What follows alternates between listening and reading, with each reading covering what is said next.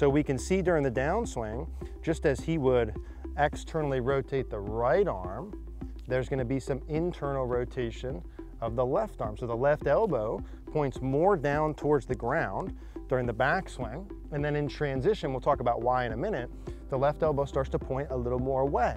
Now, as my left elbow points away, what happens to the shaft? shallows.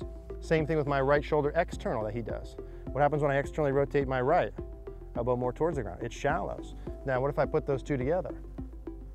They shallow, right? I wanna to talk to you today about Live View Golf. Now you guys hear me say all the time that you need feedback when you're practicing. You need to know if you're actually doing what you're trying to do. And the best way to give yourself feedback ultimately is video. And not only is video the best way to give yourself feedback, but being able to see yourself simultaneously as you're doing a movement is the best form of video feedback. It's the best way I've seen to make changes in your swing and be able to correlate the differences between your feels and your reels. Live view is super easy to use and set up. Simply set it up behind or in front of you. You connect it with your iPad or phone, pop that on the ground. You can actually do your practice, see yourself as you're doing it, the best way to expedite your process. I encourage you guys to check out Live View Golf. We'll put a link in the description down below with a coupon code. Hey guys, Eric here out at the Don Law Golf Academy at beautiful Osprey Point Golf Club in Boca Raton, Florida. Now in today's video, we're gonna talk about Ben Hogan magic moves, in particular how the lead arm or left arm in his swing works and how you can utilize it in your own golf swing. Now, a couple quick things before we do get into that video. I am going to be doing some in-person coaching down here in Boca uh, in the uh, wintertime. If you would be interested in coming down, I would love to work with you. We'll put a link down in the description down below. If you can't make it down here, I would still love to work with you through cogornogolf.com.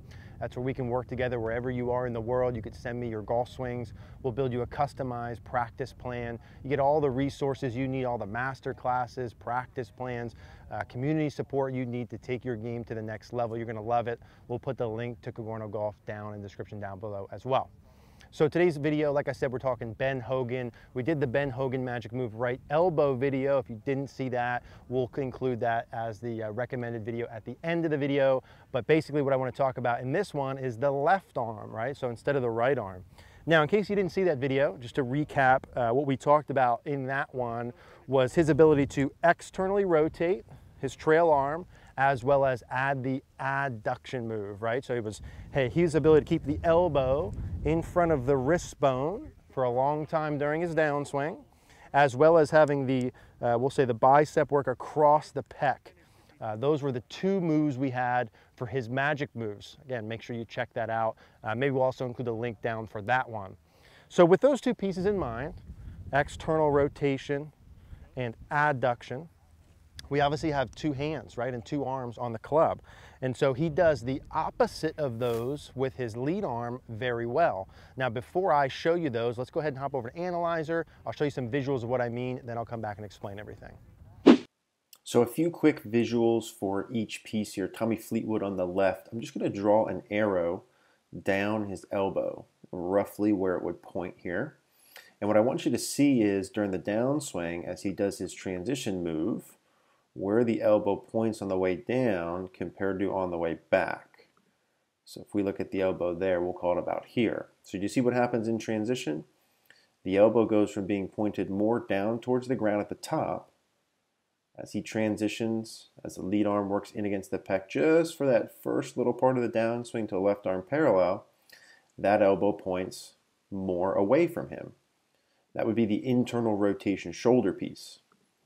Now on the right we have Adam Scott. I'm going to draw a line here between his shoulder and his arm, uh, which isn't going to be a perfect representation, but it'll get the point across to show you the angle between the arm and the body. This is the adduction, abduction, the bicep towards the pec um, or the bicep away from the pec. So there we have 77. We'll look at it just as a, about 80 at the top. In transition, that angle is going to get smaller, meaning his left arm is closer to his chest compared to where it was at the top, 45. Now from here, this is where the left arm starts flying off the chest or getting farther. So if we get down to club parallel and we switch colors, now we'll see that the arm's at 60. So I got farther from the chest. Left arm worked away from the body into this position. And now, of course, it's going to continue working away from the body as we get to impact, back close to where we were at the top. And then it'll get even farther away as we work into the follow. So from the top here, from the top position, the left arm gets, uh, left bicep gets closer to the pec. That's the press against part, just until left arm parallel. And then from this point through, the arm's working away from the body all the way through impact. Back to the left side, internal, external piece. The elbow points more down towards the ground at the top. Not the same for every player, but here's where he is. And then now the elbow works more away as the arm presses into the chest, just for that initial two feet during the start of the downswing. Okay, so there we see the checkpoints of these two moves. So with the first movement, we've got the uh, internal, external rotation of the shoulder, right? So if I were to hold my left arm in front of me with my thumb up towards the sky, and I turn my thumb to the right, that would be just forearm rotation. But if I get my thumb all the way down towards the ground, that would be shoulder rotation. So I could rotate this, my forearm, I can go shoulder rotation, thumb all the way to the ground. Now, if I do that to this camera and I go back, the more I do that motion here, you see that changes where my elbow points. So the more my left shoulder would be externally rotated, would be the elbow down towards the ground. The more my shoulder's internally rotated, the elbow would point away from me, like this, internally rotated. So we can see during the downswing, just as he would externally rotate the right arm, there's gonna be some internal rotation of the left arm. So the left elbow points more down towards the ground during the backswing. And then in transition, we'll talk about why in a minute, the left elbow starts to point a little more away. Now, as my left elbow points away, what happens to the shaft? It shallows. Same thing with my right shoulder external that he does. What happens when I externally rotate my right elbow more towards the ground? It shallows. Now, what if I put those two together? They shallow, right? So that would be part number one. And the second piece we talked about, and I'll explain why in a minute, is the right arm working across his body. So as the bicep gets closer to the pec or my center line, that would be adduction, adduction. But now my left arm would work the opposite. If I'm holding the club, my right arm works towards my pec. That means my left hand and arm, my bicep is gonna work away from my pec, abduction, abduction. So that's the second move he does. And you saw in the visuals there, if we look at the top of the swing from Adam Scott, and we use the modern pros just because you see some of the Hogan B-roll put in here. It's hard to see the details. With those guys, it was easier. So we can see from here, the angle between the shoulders and the arm, which would indicate this angle, getting closer or farther apart, we see that when we go to the top, the elbow starts to work away. The arm gets closer to the body. So this arm gets closer to the body, which we'll talk about why in a minute, in early transition till about left arm parallel. And then from there to impact, the arm is progressively moving farther away from his body. So those are the two moves, right? Left shoulder internal rotation, left shoulder abduction, or left arm abduction. Now, the first piece is how does the internal rotation happen? How does this left elbow move away and how do you do it? Well, the root, or really the um, how it starts, should come from good body motion.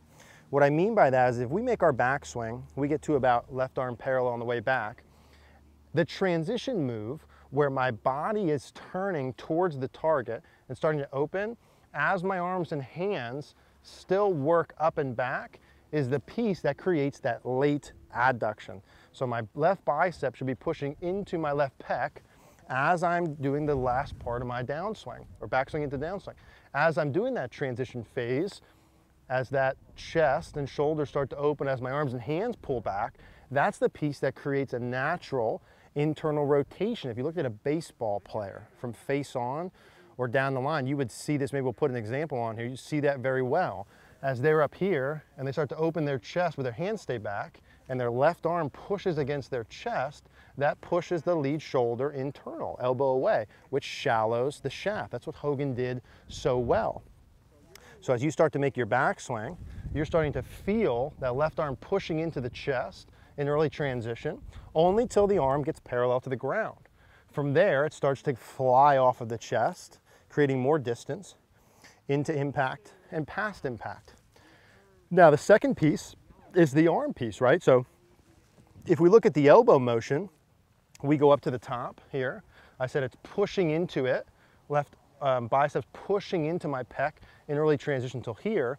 Now my elbow should point out outside the ball line, shallow on the shaft. From there, my elbow is gonna start to point towards the target. So my left elbow is gonna stay internally rotated, not external towards my body. The elbow is gonna stay pointed towards the target all the way till I get to impact. Now, as I'm doing that, how I square the club face up is through just normal lead, and you could even see one of the Hogan pictures we have about here, how his left wrist start to bowed. The left elbow stays pointed towards the target. The glove and the logo on the glove just has a normal amount of turn to square the club face up. That's where I can get into my perfect impact position. Elbow still towards the target, the logo of the gloves towards the target. Shaft is leaning forward with the face square. That would be perfect. So the elbow from here points away and then towards the target and stays towards the target. The elbow points away and then stays towards the target. All right guys, two quick caveats in terms of this lead arm internal part that I want you to be aware of. When you do it, I do not want you to do it by having the left shoulder raised up real high and I do not want you to do it with the left arm working way out away from you. So when the left elbow works more towards um, the wall or across from you, the left shoulder stays down and the left arm stays in.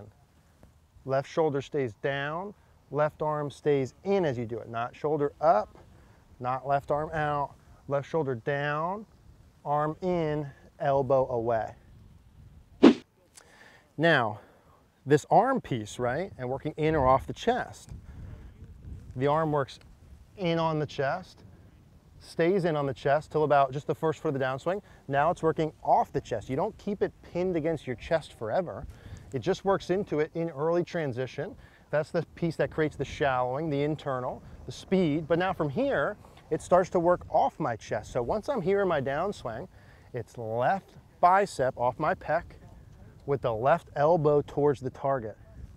Left bicep off my pec, left elbow towards my target. Now, of course, I'm still doing all the other stuff, right? I'm still turning, I'm still tilting, I'm still doing everything else. But in terms of these two components and what did he do so well that allowed him to hit the ball so straight and consistent, he shallowed the shaft beautifully from the lead shoulder internal, trail shoulder external. He kept that lead shoulder internal, which allowed him to be completely consistent here at impact, like this, compared to the elbow pointed towards my body here.